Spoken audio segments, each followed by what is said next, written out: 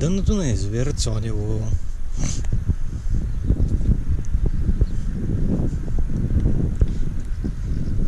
Само преди една година това е горната част на язовир Цонево до чудните скали. До преди една година е било тук дъното на язовир Цонево.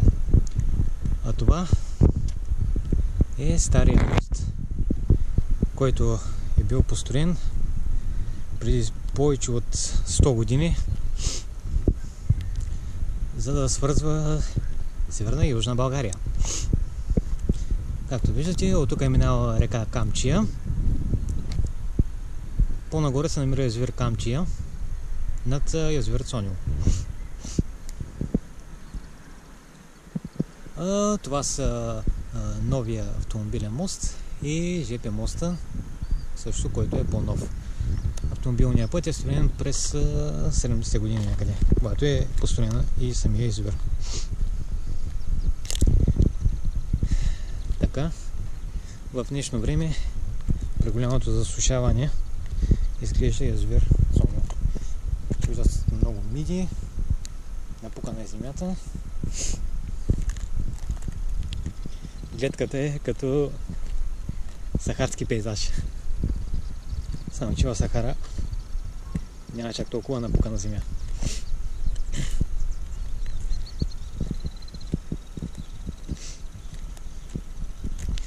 Миналата година при посещението ми на язовира няколко пъти а, самия мост стария беше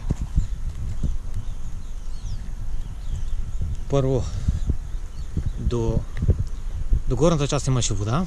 Септември месец се виждаха арките, а сега почти цялата част на арките се виждат. тук какво са искали да правят? Има някакви бетонни осатъци от едно време.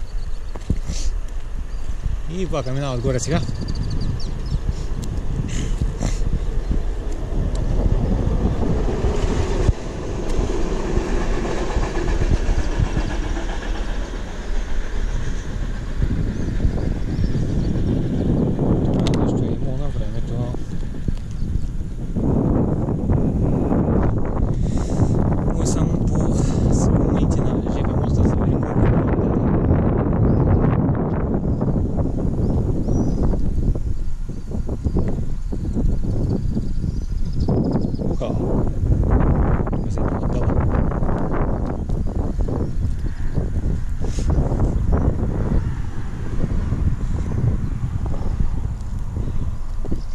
Така, в днешно време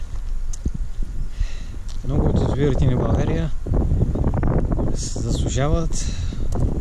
Зимата беше много лоша, нямаше сняг и колко ли ще продължило ще спада на язовирите, никой не може да, гаран... да каже, но положението е наистина трагично.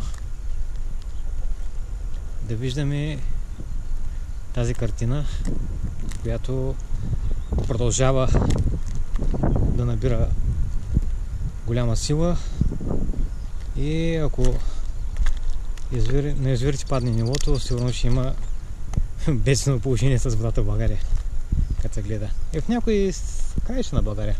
Някъде може да няма много голяма криза, но северна България, северочна България, засушаването е много голямо.